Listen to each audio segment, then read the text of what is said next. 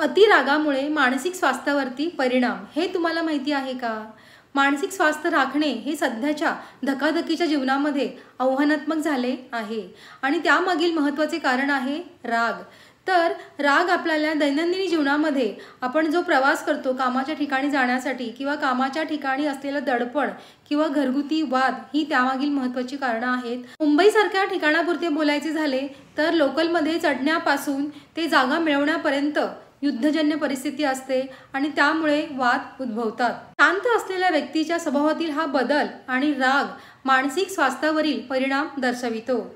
आणि राग येणं ही एक स्वाभाविक भावना आहे. आणि मेंदूमध्ये एमिग्लाड म्हणून एक बदामासारखा भाग आहे जो आपल्या भावनांवरती नियंत्रण ठेवण्यास मदत आपल्या भोवतालची परिस्थिती जर थोडीशी जरी धोकादायक असली तरी एमिग्लाड हा उद्दीपित होतो आणि आपल्या रक्षणासाठी आपल्या मनामध्ये राग निर्माण करतो. रागाच्या भरामध्ये आपल्या हातून नको ते होते कारण राग आला की मग मेंदूमध्ये रसायनांचे प्रमाण सुद्धा वाढते आणि त्यामुळे हृदयाचे ठोके वाढतात रक्तदाब वाढतो आणि या श्वास? जोरजोरात सुरू होतो घाम फुटतो किंवा आवाजही चढतो आपला आणि आपल्याला अस्वस्थता राग ही भावना आपल्या मनात विविध वेळेस घडते.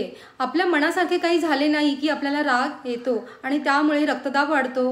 हृदयाचा झटका येण्याचे प्रमाण सुद्धा त्याचबरोबर प्रतिकारशक्ती कमी होऊन तापापासून कर्करोगापर्यंत विविध आजार उद्भवू शकतात आणि सतत राग येणे त्यामुळे नैराशी येऊ शकतं आणि मानसिक विकारामध्ये राग हे प्रमुख लक्षण मानलं जातं.